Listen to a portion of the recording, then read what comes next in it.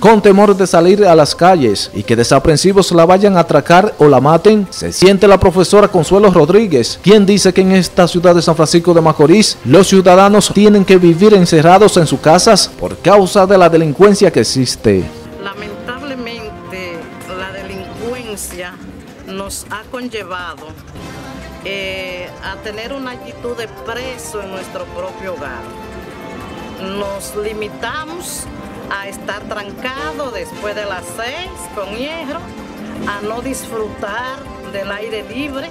Por ejemplo, qué bonito fuera que una juventud se sentara en el frente a tocar guitarra y a cantar como lo hacíamos antes, sin tener el temor de que lo van a atracar, de que le van a quitar el celular y sobre todo, sobre todo lo más importante, que le quiten la vida como sucede en algunos casos. NTN, Robinson Polanco.